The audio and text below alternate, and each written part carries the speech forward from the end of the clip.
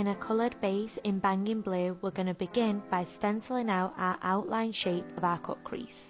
Just like anything, if you wanted a drawing to be perfect, you'd start with pencil and then go in with pen once you are satisfied. This is what we are doing, but instead with shadow.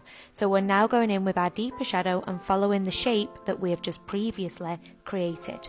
Taking advantage of that base, we are building up the perfect ombre blend before carving out again our desired shape. So we are using this as a stencil outline before colouring in the rest of the lid space. Now remember, this technique is amazing if you have a shaky hand or even if you're just not that confident with a cut crease because you can see the invisible line that you need to follow. Before taking your product for the lid, it's essential that you apply product to the front and back of the brush.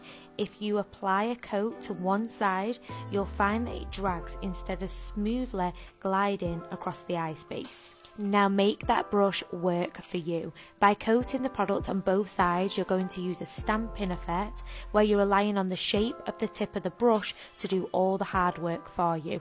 The curve of the brush will give you the perfect finish. We always recommend going in with a pressing motion rather than a dragging motion as any spare skin can pull and sling back causing ridges and we want that crisp finish. Remember to take a blending brush and blur out your inner and outer corner to prevent any harsh lines.